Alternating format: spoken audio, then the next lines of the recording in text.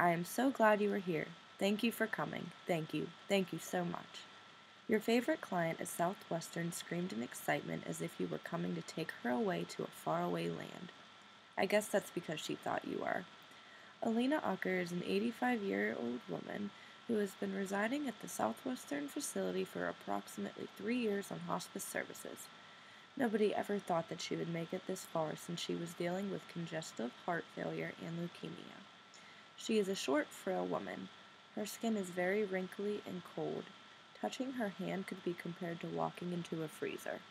You notice she is very worked up, as if she has been holding in a large secret that she has been waiting to tell you. You see now at the end that there are two options. There is one, talk to Alina, or two, is she crazy? I'm out of here. I'm going to give Alina the benefit of the doubt and I'm going to talk to her. Talk to Alina. Alina, why do you keep thanking me? I haven't done anything worth being thanked for. Not yet, but I know you will. Come close. I have to tell you a story. A little closer. Closer. Okay, that's too close. Perfect. Now listen. The people here, they they just aren't treating me right. They aren't giving me my medications when they are supposed to. They are not bathing me. Don't you smell that? It's not the bathroom, and it's not the gross food they serve me. It's my body. It just smells like death. They think because I'm an old hag that I'm not coherent, but boy are they wrong. I need your help. We need to get out of here, today, now. We are going to Punta Cana. I would need your help to get some of my things together. Now my clothes are in the closet. I have two pairs of shoes under the bed, one pair of slippers in my drawer, and a beautiful necklace that my daughter left me before she passed away. My money. Oh, wait. I don't have any of that. That's okay. I'll make do. They have bags all around this place. We can take it all and get going. What are you waiting for? Stop giving me that look. Let's go. Thank you. I have the option to either follow Alina's orders, or further discuss the issue with Alina. I think I'm going to talk to her a little bit more about what she's doing here. Alina, slow it down. Isn't there a different way that we can work the issue rather than pack your bags and leave? Where would you go? Who would take care of you? So many questions come about, and it is entirely uneth- unethical for me to. Oh, don't hit me with that bullshit, kid. I was your age before. You have the power, the energy. You have potential to change my life right now. Aren't hospice services about making the end of life as comfortable as possible? What is as comfortable as possible for me is Punta Cana. Help me. We have to go. I'll buy your ticket. No, I won't. I don't have any money. Er, uh, you can buy my ticket. I'll pay you back handsomely someday. Maybe. If I don't die first. Who am I kidding? I'm not gonna die. Not now. Not ever. You have to trust me on this. You do trust me, right? You told me you did. So you have to trust me on this one. You'll make me the happiest old lady alive. I'll get treated how I deserve to. I would live on an island and make do with what is around me. I'm not getting any medication here, so what's the difference if I'm not getting any there, right? Unethical, unschmethical. I promise that I won't get you caught with this. Nobody will ever know it were you. I promise it'll be okay. So, now I have two more options. Do I tell Alina I cannot grant her request or follow her orders? I'm going to choose to follow her orders. As a social worker, this is such a risk for you, but just think Punta Cana, and with your favorite client, whom you have formed quite a bond with. Alina's situation is pretty overwhelming. All she wants is happiness.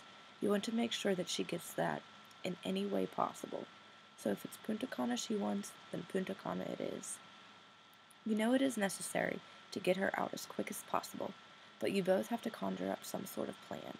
You walk around Southwestern looking for bags to put Alina's items into, trying to think about how in the world you are going to get away with this one. You find a little closet full of little black duffel bags. It seems like they knew you were coming for one, but maybe you were just thinking too deep into it. You grab one and head back to Alina's room and put her shoes, slippers, clothes, and necklace into the bag. Alina gets out of bed to get ready. She's so excited that you're ready to take such a huge step for her, and she is ready to tell you what to do next. You see here that you do not have the option of making choice number one or choice number two. Because since you have chosen to follow Alina's orders, she is now going to tell you what to do next.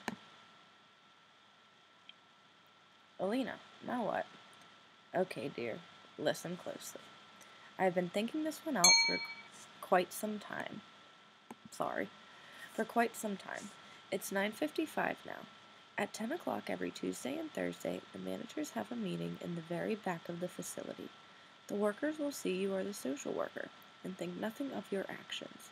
This is already working out perfectly. Yes. Yes. They will probably think you are taking me outside for air or something, and since it's you, we will be okay. The other workers up front are just are just aides. They are not going to question you at all. You have more power than they do. Remember that. Where are you parked, dearie? That's going to play a role in our escape, too. You are listening very closely to Alina trying to take all of this in. I am parked literally right in front of the door, Alina. There's no way this is going to. Excellent. We can sign me out to go to a doctor's appointment. It's early. They shouldn't think much of it. Then we actually do go to the doctor's and sign in and leave. So that there is proof that you took me there. I don't want any of this to fall back on you, sweetie. It shouldn't, but we have to take all the necessary steps to make sure it doesn't. Alina's plan seems absurd, but it seems to be all that you both have at the moment. Again, you see that there is no choice of option one or two. You are still following Alina's plan. You slowly walk Alina towards the door around 10:05 a.m. Your heart is pounding and it's starting to become harder to breathe. Is there something wrong with the air in here? Nope, just you. Keep on walking. You get to the door and you look around a thousand times in hopes that nobody knows what you are doing. What will people think of you? Does it matter at this point? Sigh. You open the door and help Alina outside. Once the door closed behind you, you look at her. She took a huge breath of relief. She felt free. She hasn't felt this way in ages, especially with the way she was being treated at Southwestern. Once you arrive to your car, you open the door for her and make sure that she gets in okay. You get into the driver's seat and buckle the both of you up. This is it. There is no turning back now. You have officially made the decision to go on with this. This is going to be one hell of a journey, so remain prepared. You have the option to either sign Alina out at the doctor's or head for the airport. I'm just going to head straight for the airport. The airport is approximately two hours away from Southwestern. It is going to be a long drive for the two of you, so time to check up on the essentials. Gas? Check. Money, check. Passports, check. Alright, so far so good. Time to turn on some soft music and enjoy the ride. Alina is already fast asleep in the passenger seat. How did that ride go so smoothly? There is no time to question it. You slowly wake Alina up to tell her that you have arrived at the airport. She seems confused. She doesn't exactly know why she's there. She looks at you and asks who you are. What? Why? Where are my medications? Nurse? Nurse! Why am I even trying to call? Nobody ever comes for me, anyways. Alina breaks out into tears. You sit back staring at her, wondering where this emotional outburst had came from. But remember, you are still a social worker. This is your situation, too. You rub Alina on her arm and try explaining to her everything that she is to her everything that is going on. She pulls something from inside of her shirt, puts it into her mouth, closes her eyes for about 10 seconds, and then stares at you with a smile. That's better. Okay, let's get going, kiddo. What did Alina just pull out of her shirt? Why was she so secretive about it? What was it? Does it matter? Or should I just go with the flow?